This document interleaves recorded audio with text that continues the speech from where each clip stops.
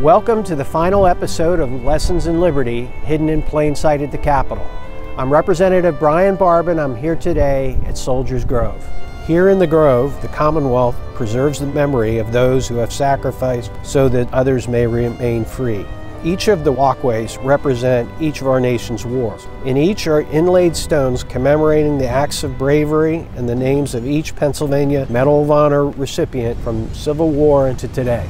At the front of the grove is an inlaid stone which commemorates the dedication of the grove. Pittsburgh poet Samuel Hazo, he gets the essence of what this is all about. In his dedication speech, no soldiers choose to die. It's what they risk by being who and where they are. It's what they dare while saving someone else whose life means suddenly as much to them as theirs or more. To honor them, why speak of duty or the will of governments? Think first of love. Each time you tell the story, it gives the sacrifice a name and takes from war its glory. At the back of the grove are nine benches. Each of the benches is printed with one word, remember.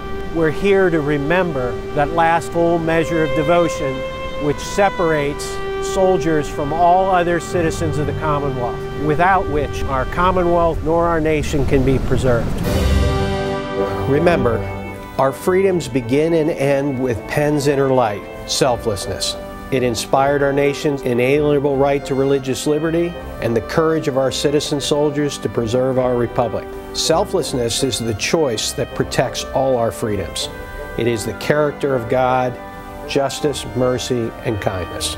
These have been your lessons in liberty hidden in plain sight at the Capitol.